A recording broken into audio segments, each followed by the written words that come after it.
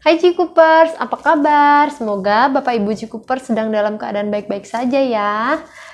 Kita biasanya membahas tentang skincare ya, tapi kali ini kita akan membahas lebih ke hair care. Jadi Nadimo itu adalah produk Jikup yang dia itu diperuntukkan kegunaannya itu untuk rambut gitu. Jadi hari ini yang mau saya kenalkan itu ada tiga produk dari Kersela Nadimo. Yang pertama itu Kersela Nadimo Foam Scaler. Yang kedua itu ada Nadimo Scalp Tonic. Yang ketiga Nadimo Scalp Ampul.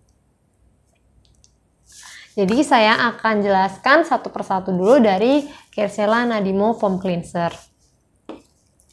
Jadi Kerselana Dimo Foam Cleanser ini merupakan uh, foam produk pembersih kulit kepala uh, disertai oleh sisir di depannya. Jadi kandungan dari Kerselana Dimo Foam Cleanser ini itu ada tiga vitamin.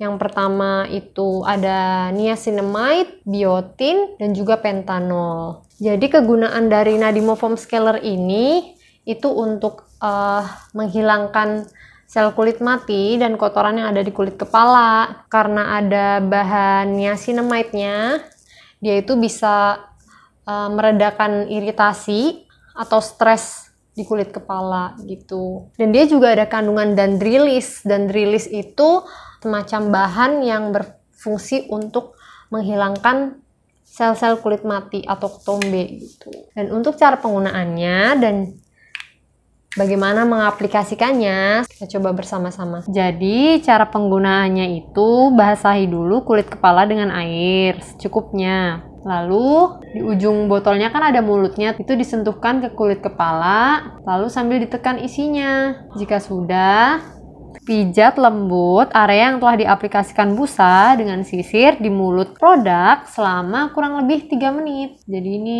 digosok-gosok, ditekan-tekan agar kotoran-kotoran dan kulit mati yang ada di kepala itu bisa diangkat. Foam scaler ini bisa digunakan 1 sampai 2 kali seminggu. Uh, sudah banyak ketombenya itu boleh juga dipakai. Produk ini kita rekomendasikan untuk orang-orang yang ingin merawat kulit kepalanya, kemudian yang memiliki banyak sel kulit mati di kulit kepalanya, kemudian yang memiliki kulit kepala sensitif, kemudian orang yang ingin merawat rambut secara sistematis, dan juga orang yang mencari produk pengelupasan kulit kepala.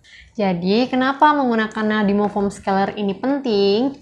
Karena rambut yang rontok dan juga apa berketombe itu rata-rata disebabkan oleh pembersihan yang kurang maksimal. Kulit kepalanya terlalu banyak kotoran dan minyak, tidak dibersihkan, itu membuat rambut itu sulit menerima nutrisi dan juga dia gampang rontok. Jadi, kita awali dulu uh, perawatan rambut dengan menggunakan Nadimo Foam Scaler. Bersihinnya dapat, terus nutrisinya juga dapat.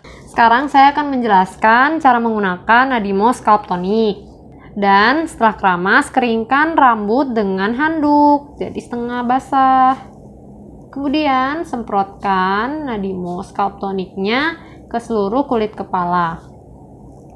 Jika sudah, tepuk-tepuk gunakan ujung jari dengan lembut untuk menyerapkannya. Scalp tonic ini bisa dipakai untuk sehari-hari ya. Produk ini direkomendasikan untuk orang yang ingin merawat kulit kepala, kemudian yang memiliki banyak sel kulit mati, kemudian yang mengkhawatirkan kulit kepalanya sensitif, dan ingin merawat rambut secara sistematis. Jadi, saya akan menjelaskan cara penggunaan Nadimo Scalp Ampul. Cara menggunakannya yaitu setelah keramas, rambut dikeringkan dulu dengan handuk. Lalu buka nadimonya, ada openernya di dalam. Dimasukkan dulu ampulnya secukupnya. Pasang jarum. Jika sudah keluar isinya, diaplikasikan ke seluruh kulit kepala. Setelah itu, bisa langsung dioleskan ke seluruh kulit kepala menggunakan jari atau juga bisa menggunakan alat dari Kersela MTS Roller. Untuk mengeluarkan isinya, bisa dijungkirkan ke bawah dan ditekan.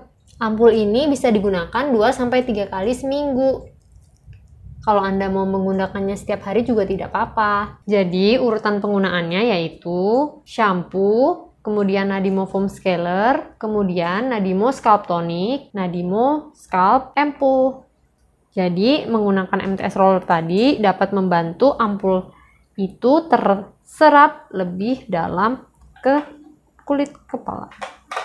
Oke, jadi itu tadi penjelasan mengenai produk Cikup yang bernama Kersela Nadimo Series. Ada Nadimo Foam Scaler, Nadimo Scalp Tonic, dan juga Nadimo Scalp Ampul. Nantikan video dari kita berikutnya ya. Sampai jumpa lagi. Dadah.